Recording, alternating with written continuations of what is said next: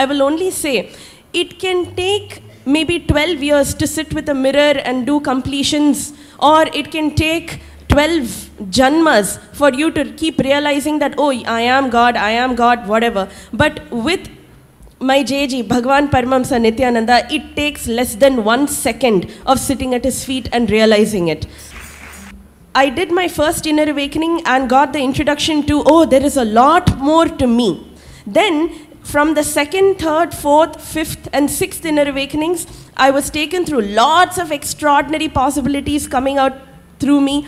Uh, I even saw instances where I overcame dangerous diseases like cancer in three days. The possibilities that I've lived through have been amazing because of Swamiji. In my ninth inner awakening, I was I didn't know what to expect. I was like, yeah, yeah, JG will take care of everything. I know he is God, but I never knew he will make me really think I am Mahadeva and live as one. So I invite everyone to come and experience Shivoham. There is no excuse, no reason, no force, not even yourself, who can keep you away from this. It is your birthright to live and radiate as Mahadeva. The law of life is whatever you hold on with fear of losing it. Exactly, exactly, precisely that will be taken away from you. And it does not want to see any powerlessness in your inner space. Anything which create, creates powerlessness in your inner space precisely that will be taken away just to make you understand you can live without that.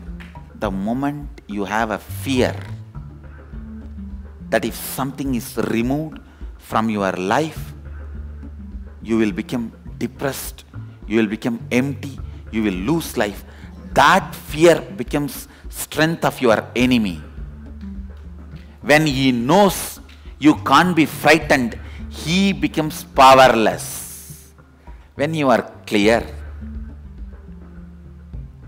you will not be lost.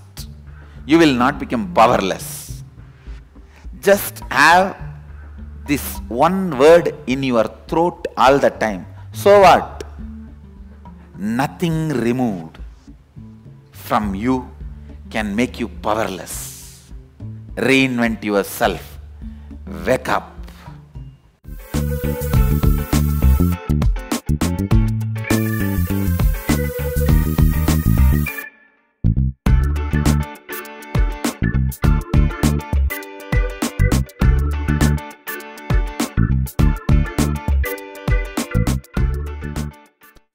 In today's special section, we take you to the Kalpa Vriksha, the banyan tree in the Bidadi ashram. Considered to be more than thousand years old, the banyan grew over two Jiva Samadhis of Siddhas or enlightened masters.